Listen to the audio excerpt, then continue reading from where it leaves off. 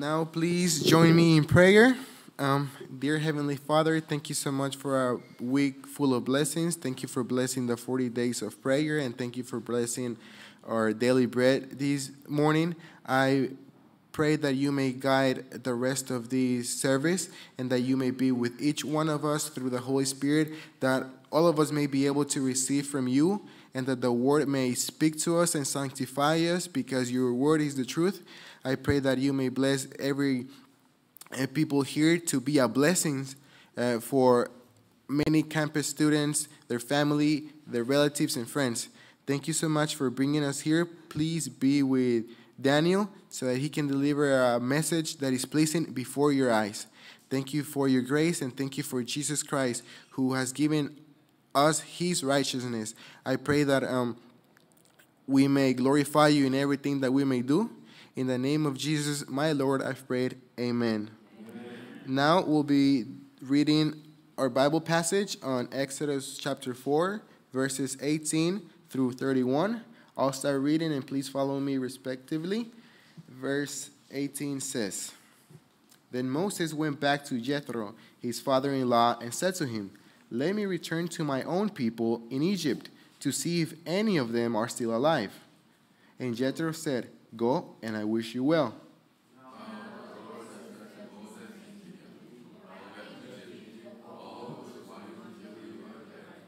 So Moses took his wife and sons, put them on a donkey, and started back to Egypt. And he took the staff of God in his hand.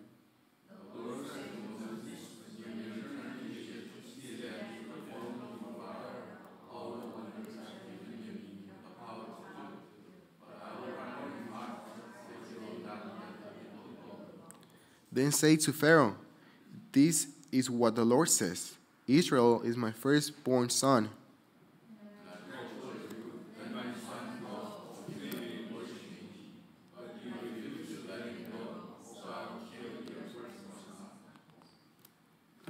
And at a lodging place on the way, the Lord met Moses and was about to kill him.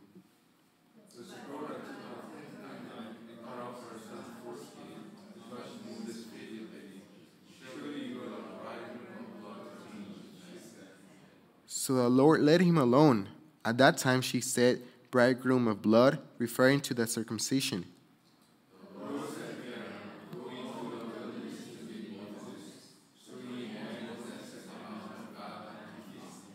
Then Moses told Aaron everything the Lord had sent him to say, and also about all the signs he had commanded him to perform.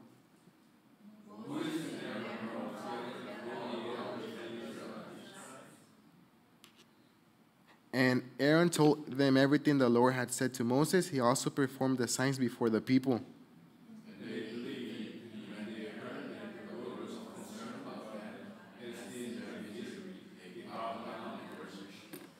Um, thank God for His word. Now we'll be receiving a message by Daniel Chim.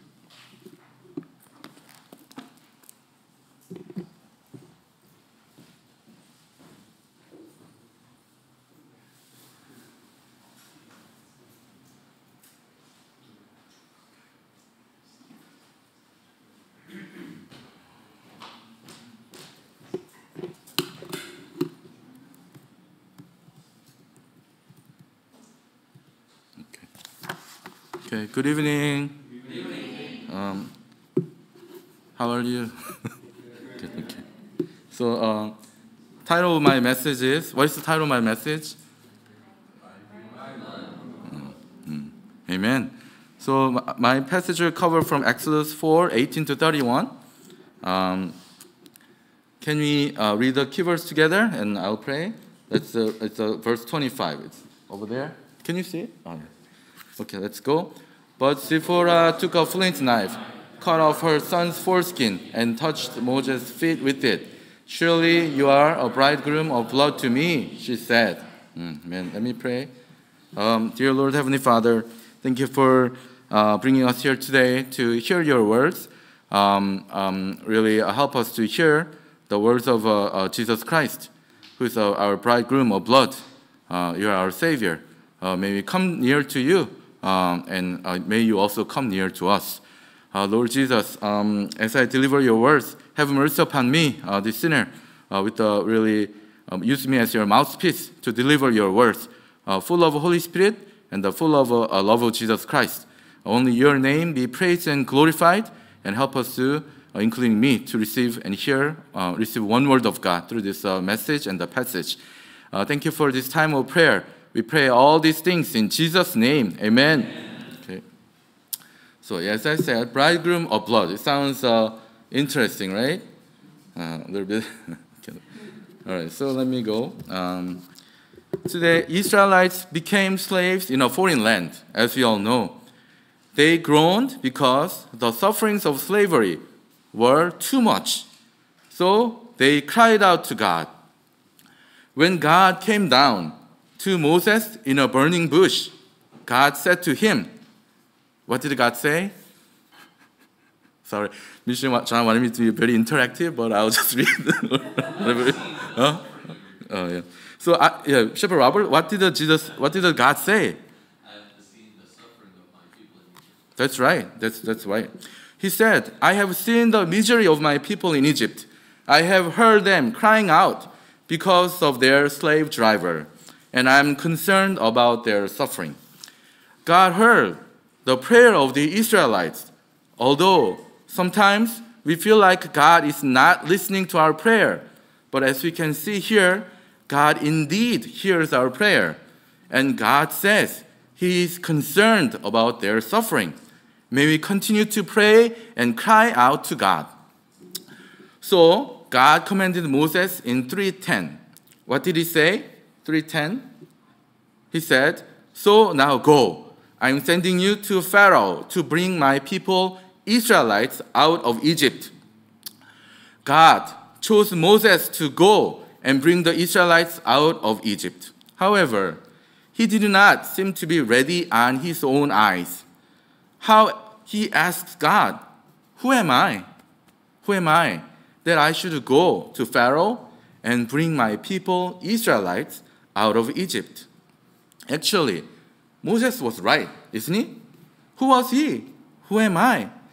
He was just a shepherd in a foreign land, slow in speech. But God is telling him that I will be with you. That what is he saying? That God will be with him. I will be with you. This God who says, I am who I am, uh, this makes a, quite a contrast from who am I. But this is actually a great discovery. Moses at this point was nothing. He did not have eloquent speech. He did not know what to do in front of a very proud king of Egypt. But God reveals him that he is, what is he? What? I'm sorry for speaking on you. He says, what is God says? He's, he's, I am, I am, who I am. He's telling Moses that he is the Almighty God, the creator of heavens and the earth, and will be with Moses. So Moses did not have to be afraid. So today, so today, in chapter 418, Moses makes a decision of faith to go to Egypt as God commanded him. God had told Moses, All those who wanted to kill you are dead. So Moses took his wife and sons, put them on a donkey, and started back to Egypt. And he took the staff of God in his hand. Moses was a great man of faith. Don't you think so? He knew the purpose of going to Egypt. He knew that only thing that he can depend on was God. So he took the staff of God in his hand. He absolutely had nothing to fight against the king of Egypt, the Pharaoh. Pharaoh was self proclaimed God. He had hundreds and thousands of armies and chariots. How can you fight against someone like him? Can you? Uh, in his younger years, Moses thought he had something. He thought with his own strength he could achieve something. That, that is why he killed the Egyptians and wanted to separate the two Israelite slaves fighting. But this time, as he was going back to Egypt, Moses was not trying to fight a battle of flesh and blood. He was no longer taking it into his own hand. He rather showed his complete reliance on God by carrying staff of God with him. Also, Moses well knew that he was basically going for a war and battle against the king of Pharaoh. But interestingly, Moses took his wife and sons, put them on a donkey, and started back to Egypt. He, he was not like telling his wife and children to stay, stay in the Midian while he goes for a great battle. Moses did not ask for a great army of hundreds and thousands. He did not ask for an imposing chariot with the four strong horses. At least uh, Gideon in the Bible had 300 armies, right? But Moses had none. Um, rather, he took his wife and sons on a donkey and was heading back to Egypt. This shows me Moses' complete reliance on God. Moreover, this reminds me of our Lord Jesus Christ, who entered Jerusalem meekly and humbly riding on a donkey to be our victorious king and become our savior from the power of sin and death. What about us? Are we completely relying on God as Moses did? Or are we still relying on our own power, strength, and ability? Are we, what are we relying on? Elijah?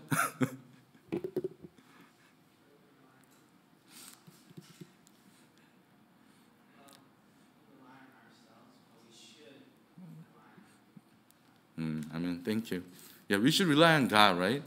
When we rely on God and walk forward by faith on a donkey, fully trusting in God alone, then surely God will help us and grant us victory in Him.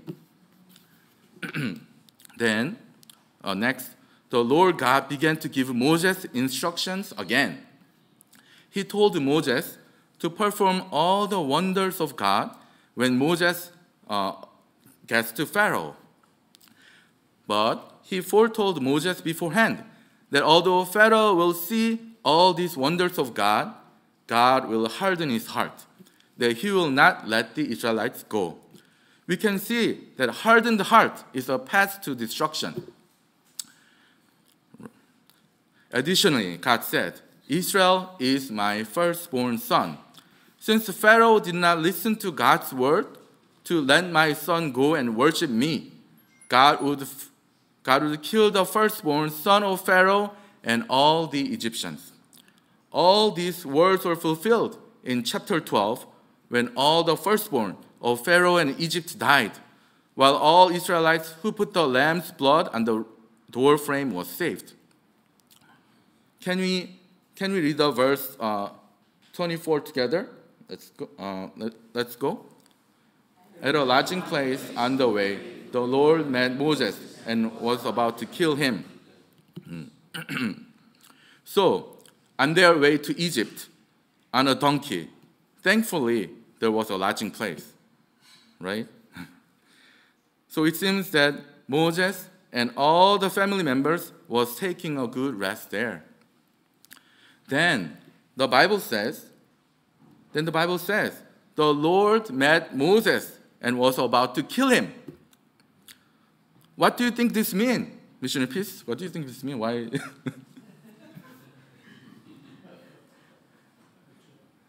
그죠?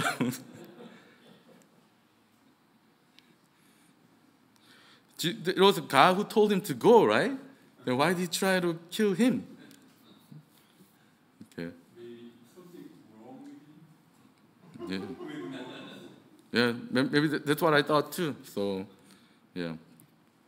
So wasn't it the Lord God who told Moses to go to Egypt, right?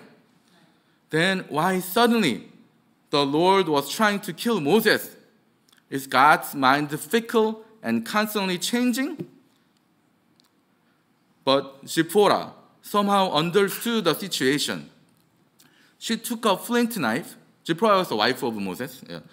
Uh, she took a flint knife, cut off her son's foreskin, and touched Moses' feet with it. Then she said, let me see. Oh, oh okay, let me, can we read this key verse together? Okay, let's go. But Zipporah took a flint knife, cut off her son's foreskin, and touched Moses' feet with it. Surely you are a bride to me, she said. So the Lord let him alone. At that time, she said, bridegroom of blood, referring to circumcision. So then why suddenly the Lord was trying to kill Moses? Uh, so Zipporah somehow understood the situation. She took a flint knife, cut off her son's foreskin, and touched Moses' feet with it. Then she said, Surely you are a bridegroom of blood to me. So the Lord let him alone. That's what Bible says up to this point. So the Lord God passed over Moses. This time it was not the Passover through the lamb's blood, but it was rather through the cutting off the foreskin of his son, and somehow through the wife Zipporah's word, Surely you are a bridegroom of blood to me. Where do we see the first circumcision in the Bible? Do you know? Abraham. That right. That's right. What chapter? that's right. Very close. Genesis 17. Uh, so uh, maybe. Uh, Hore, you want to read it?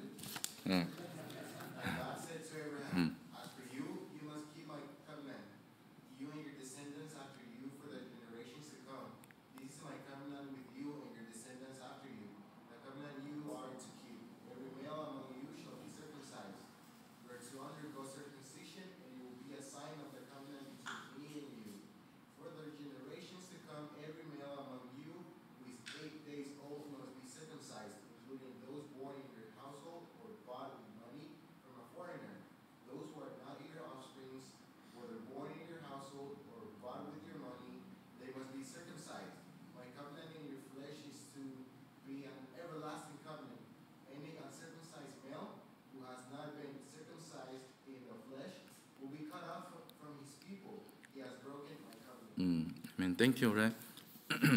yes. So this is uh, before Isaac came. So God made the first covenant with Abraham in the circumcision. So God said to Abraham that you must keep my covenant. This was God's law. Every male among them was supposed to be circumcised. Any uncircumcised male will be cut off from his people. So, in terms of circumcision, I think Moses did not follow God's law. We can see that one of his sons at least was not circumcised. So even though Moses was chosen by God, he had to follow all the laws of God. Otherwise, he will be cut off. As you all know, it was the law of God. As Leviticus 12:3 says, and on the eighth day, the flesh of his foreskin shall be circumcised.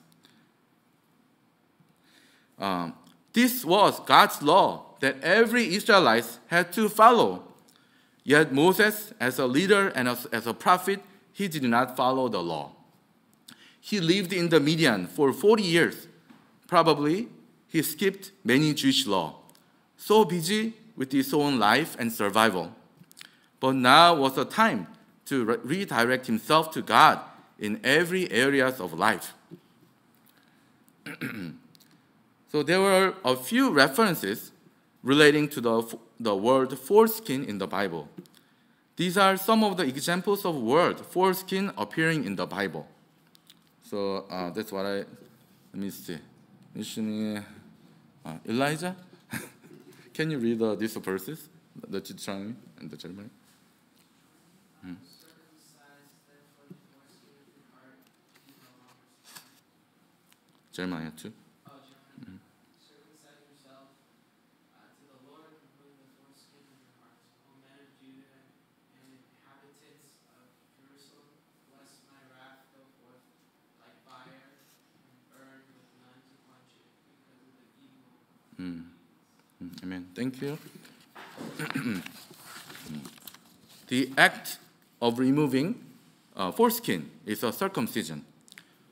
What would removing the foreskin mean?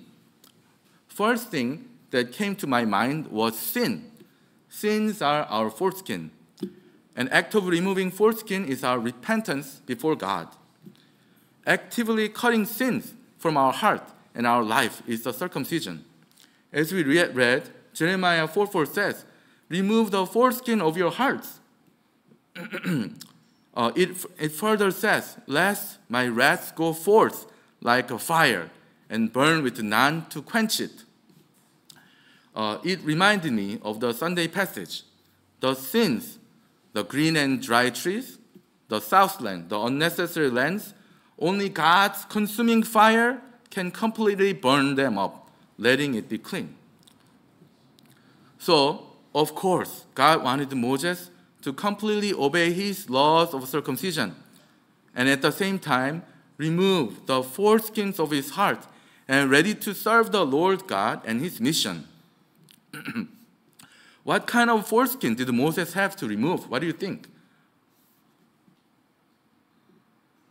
Missionary Paul?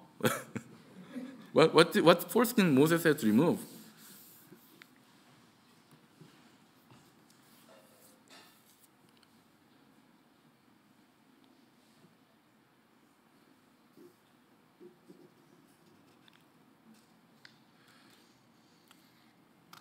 Oh yeah, Shepherd William, Pastor William. Disobedience. Yeah, that could be right. We, uh, In what ways? Or,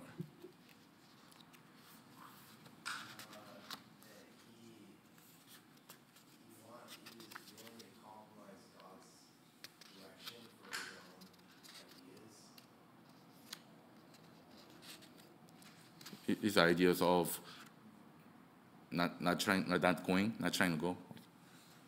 Okay. Yeah thank you.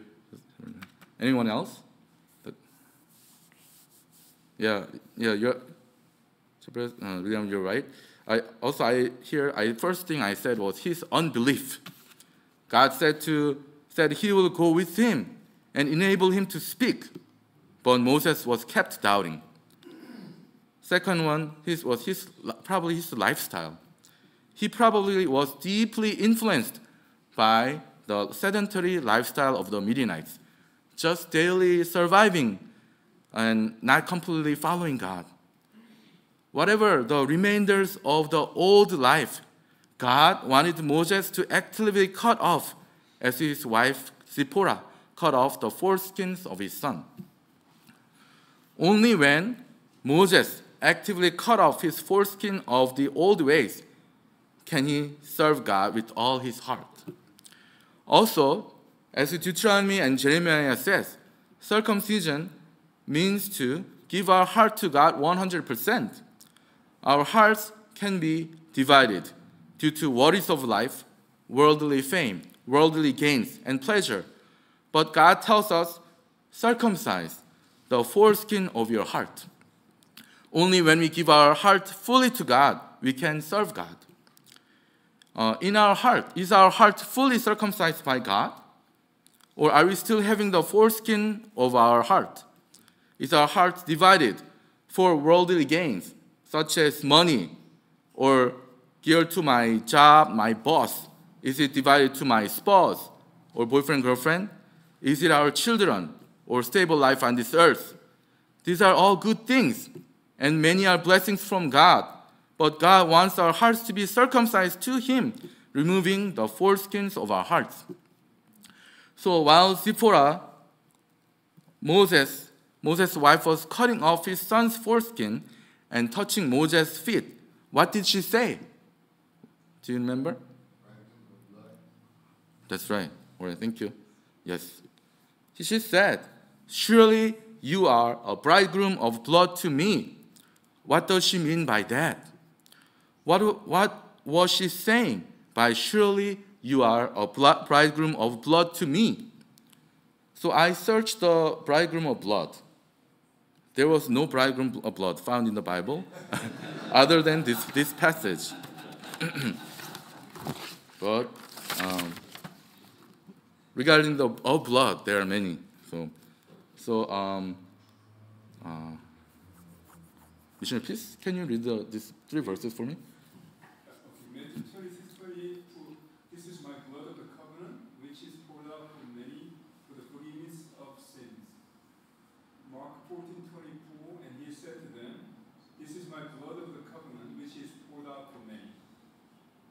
John 6, 53, but Jesus said to them, Truly, truly, I say to you, unless you eat the flesh of the Son of Man and drink his blood, you have no life in you. Mm, amen. Thank you.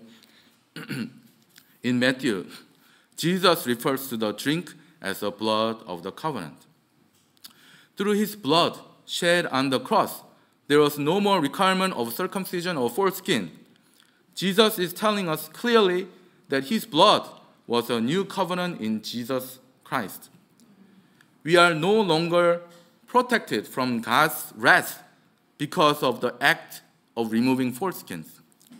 We are no longer at the mercy of God like Moses because of our sins and iniquities.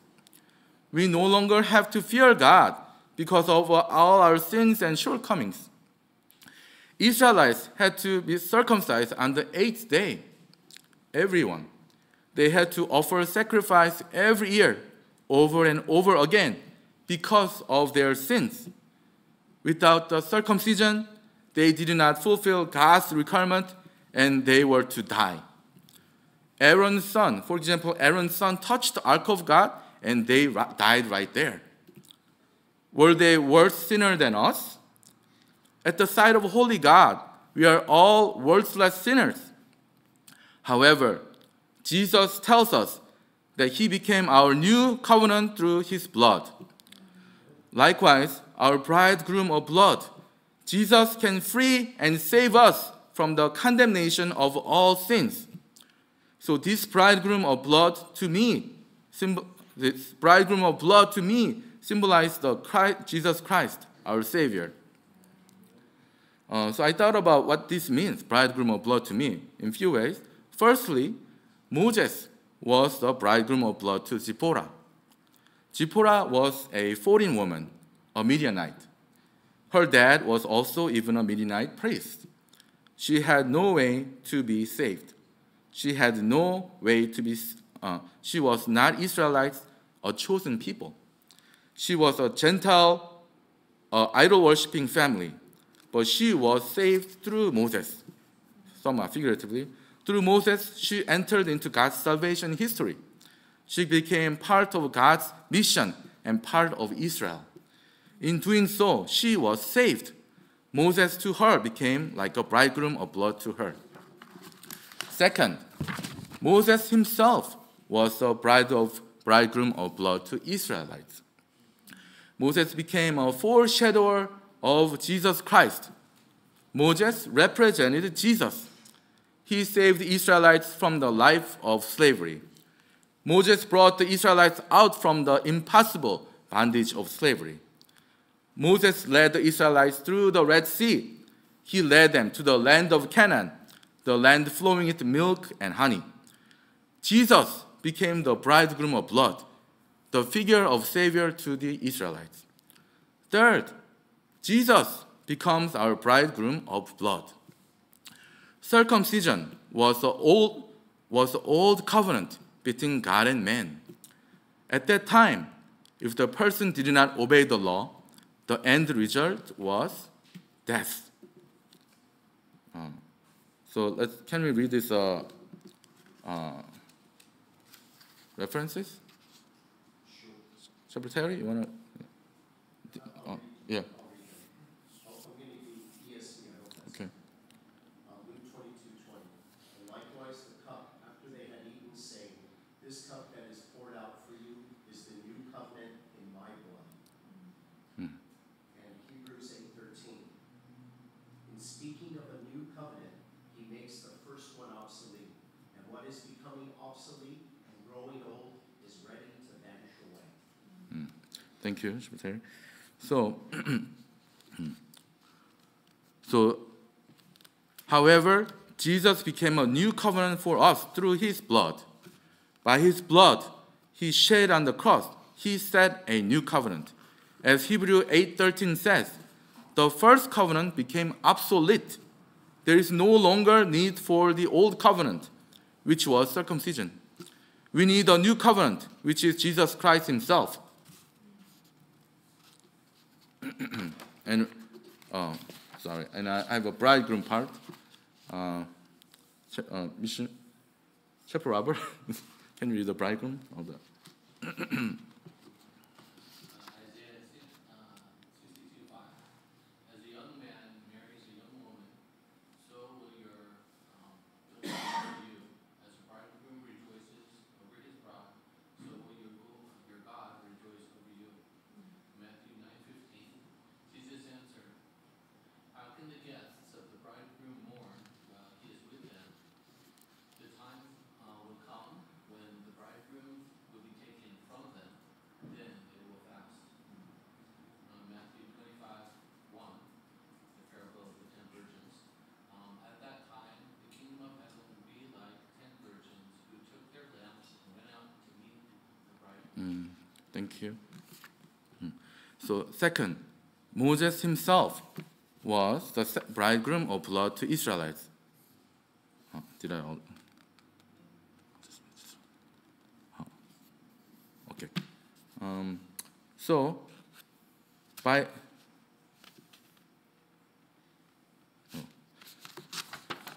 as, as we can see from these references, God is our bridegroom, and also Jesus becomes our bridegroom. Jesus is our bridegroom of blood, who bought us through his blood. Through our bridegroom of, of blood, Jesus, we no longer face the condemnation of sin, which is caused by the law. But through Jesus, we are set free. As Moses was set free from God's wrath. Uh, when we believe and come to Jesus, who becomes our bridegroom of blood, we are set free from God's wrath and completely freed from the condemnation of God. In Jesus, we have a new life. We have a freedom. No longer sin has power over us in Jesus Christ. When we hold on to Jesus Christ, our bridegroom of blood, we no longer face God's wrath, but we have a new victorious life in Jesus Christ. so now, uh, Lord said to Aaron to go into the wilderness to meet Moses. Then Moses told Aaron all the, all the things Lord had sent him to say and all the things Lord had commanded him to perform. Then they brought all the elders of Israel and told them everything the Lord had said to Moses. And what was their reaction? They believed. And they were so comforted at the fact that God was concerned about them and saw their misery. They bowed down and worshiped. They kept crying out to God at their misery, but they were not sure if God was uh, even listening or seeing their miseries.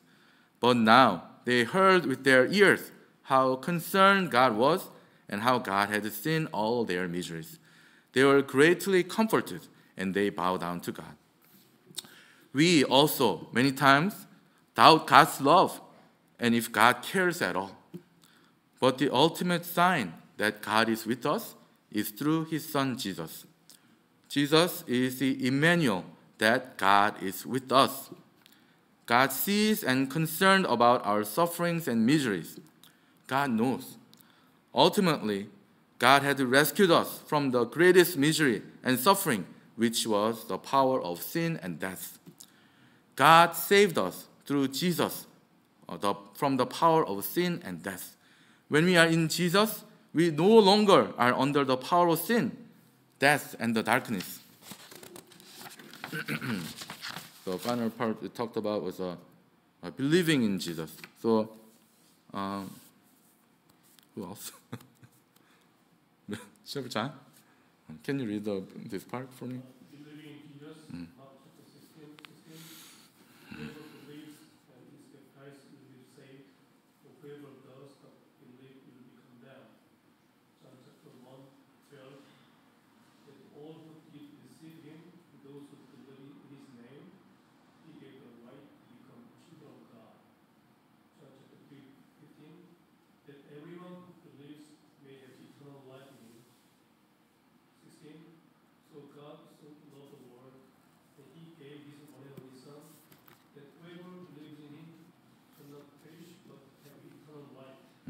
You. Um, so as John 3:16 says, God so loved us that he gave us his one and only son that whoever believes in him shall not perish but have eternal life. When we believe in Jesus Christ, we are saved and have eternal life in him. As Moses was saved from God's wrath, when we believe in Jesus, we will be saved from God's wrath. But if we do not believe in Jesus, uh, as 3:18 says, uh, no, Mark 16:16 says, does not believe will be condemned. Uh, we are condemned if we, we, are God, we are at God's judgment. But when we believe in Jesus, we are truly saved and we can regain eternal life. May we believe in Jesus, who is our bridegroom of blood, and come before him. When we believe in Jesus, we will be saved. But if you do not believe in Jesus, we will be condemned. Thank God for saving us from the eternal condemnation. May we condemnation. May we believe in Jesus Christ and be saved today. One word. Jesus, you are my bridegroom of blood. Mm. Amen. Uh, let me pray. Dear Heavenly Father, uh, thank you for uh, enabling uh, us to come before you and enabling me as a, uh, Uh, your mouthpiece, uh, messenger today. Lord Father, um, we really wanted to hear your words. thank you for the words of God. help us to, was really the power of, power of Jesus who saved Moses from the death.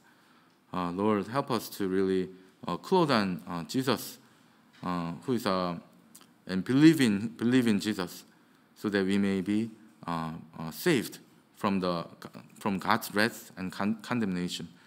In Jesus, we will be saved and we, have, will gain uh, eternal life.